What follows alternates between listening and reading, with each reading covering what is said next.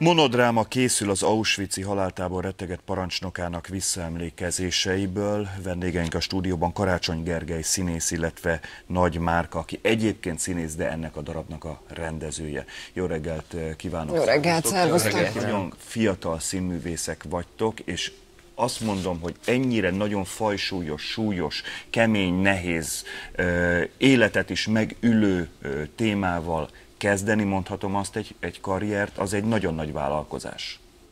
Gondolom így. Miért volt ennyire fontos számotokra, hogy gyakorlatilag, ahogy végeztetek az iskolában, ezzel kezdjetek?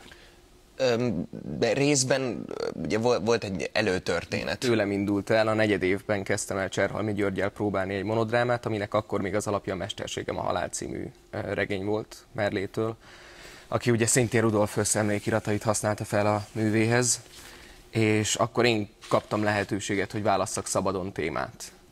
És végül ezt találtam meg, és azt tetszett, azt tetszett meg benne, hogy, hogy olyan szemszögből mutatja meg ezt a történetet, amilyen szemszögből nem szokták. Általában az áldozatok szemszögét mutatják meg. És ez a történet pedig a történelmen átívelve 1913-tól bemutatja egy olyan ember életét, aki egészen kamaszkorától kezdve a gazdasági válságon és az első világháborún keresztül eljut odáig, hogy, hogy végrehajtson olyan parancsokat, ami érthetetlen ami egyébként, érthetetlen. tehát ne, nehéz megérteni, és menthetetlen. Te találtad akkor a témát, azt mondod, ki írta a, a szövegkönyvet? A szövegkönyvet végül együtt írtuk Márkóval. Együtt írtatok, ah, mert akkor azt össze kellett dolgozni, az emlékiratokat, meg a regényt is összedolgoztátok? Vagy? Nem, hát a re- regényből indultunk ki, de aztán Rudolf emlékirataiban rengeteg olyan feljegyzést találtunk, amik végül nem kerültek be a regénybe, illetve további SS tisztektől meghallgatott interjúk alapján elkezdtük ezt írni, és egy két hónapos, nagyjából két hónapos kutatómunkával és írói folyamattal fejeztük be ezt a szövegkönyvet. Az egyértelmű volt, hogy te leszel, a monodrámáról van szó, te leszel, aki játszott, mert te is színész vagy, tehát nem vetődött az fel, hogy... Igen, mert ő ezt a Gyurival már elkezdte ja, próbálni, akkor az... volt egy szövegkönyv, ami a, így magyarosan mondva a Merlének a szövege alapján egy ilyen dramatizált verzió volt, amit te írtál, és amikor az a próba folyamat tulajdonképpen nem ment végbe, akkor a Gergő ezt a verziót átküldte el, nehez hozzátettem még azt, ami a, szerintem az emlékiratokból legyen benne, meg kicseréltünk nagyon sok mindent, így akkor nem is lett jogdíjas.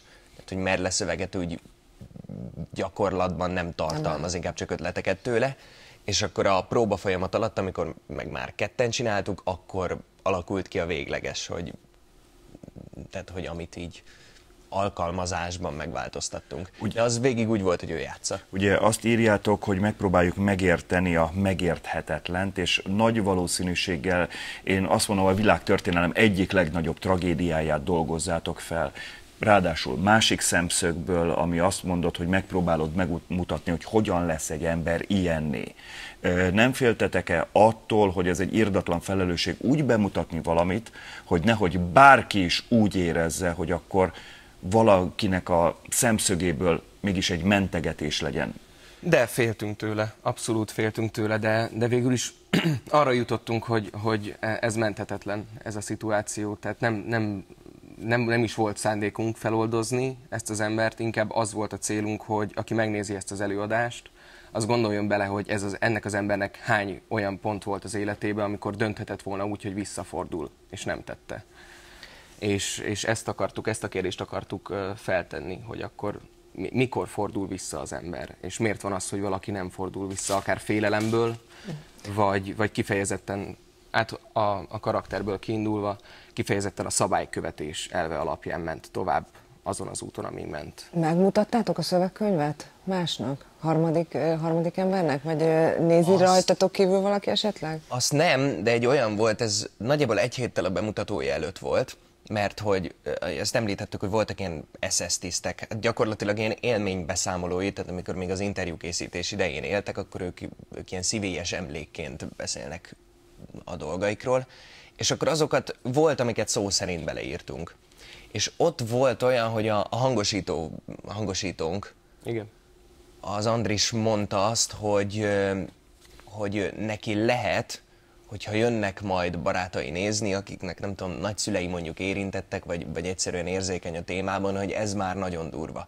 És akkor elkezdtünk azon gondolkozni, hogy húzzunk-e belőle az extra kegyetlen részeket, és végül is a Fehér Tibi jött el, színész, ő volt a tesztközönségnek az egyik része, és ő azt mondta, hogy, hogy nagyon-nagyon kegyetlen, de hát ez ilyen, és hogy nem, nem lehet azt hazudni, hogyha ezt kihúzott belőle.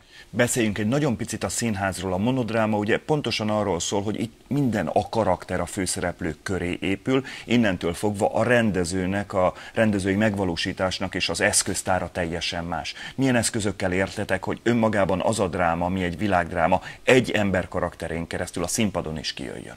Én azt, azt próbáltam elérni, hogy úgy legyen monodráma, mint hogyha neki lennének partnerei.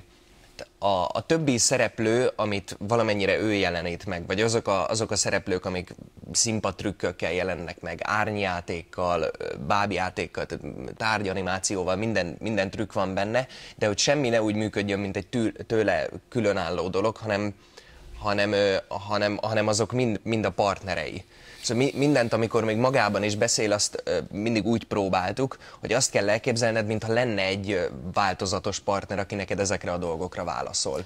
No, mikor lesz a bemutató, és hol? Szeptember 1-én mutatjuk be újra ezt a darabot, ezt mi már játszottuk a tavalyi évben. Ott kérdezzek közben, bocsánat, szeptember 1 nem véletlen, ugye? Tehát nem, akkor tört ki a világháború. Akkor tört ki a világháború, és a Trip hajón lesz a bemutató az újra bemutatónk. Hogy érzitek, többször játszátok, tehát hogy több szezont is megél, vagy mennyi előadás van most lekötve?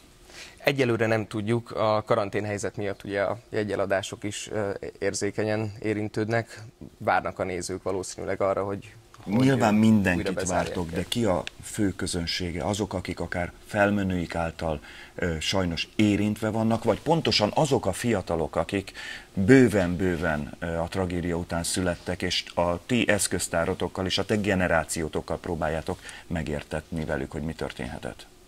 Valójában egyébként a fiataloknál elég jól megy ez, ez szerintem egyébként részben, tehát a, nyilván az, amit kérdeztetek az elején, hogy, hogy nagy felelősség ilyen fiatalon megcsinálni, de közben meg az lett vele, hogy, hogy mertünk talán olyan színpadtechnikai trükköket alkalmazni, amik a fiatalokhoz közelebb hozzák. De vannak benne ilyen majdnem filmes vágások például, tehát úgy, úgy, úgy van elvágva egy jelenet, ami, ami színpadon kisé talán szokatlanabb, de nyilván alkalmazták már előttünk, csak van benne ilyen. Ez és ezért a fiatalokat fiatalok... nagyon nehéz behozni mindenhova, akár olvasás Tisztelet a úgyhogy... színházi bátorságotokért, és kíváncsiak várjuk a, majd a reakciótokat. Szeptember egy trip Köszönöm szépen. Köszönjük, Köszönjük szépen. szépen.